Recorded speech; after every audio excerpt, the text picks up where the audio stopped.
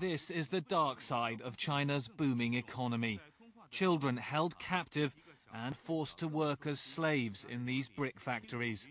Many of them kidnapped by gangs and then sold into slavery.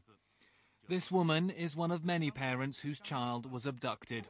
She's been working with local journalists to try to get him back. That's my son, she tells them. They travel to a neighboring province to track him down.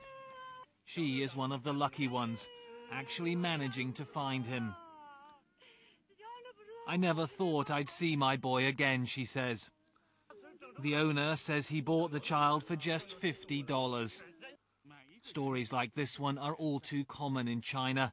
Forced labor is a growing problem here. So far, the government's been slow to take action. And all the while, it's children like these that are paying the price.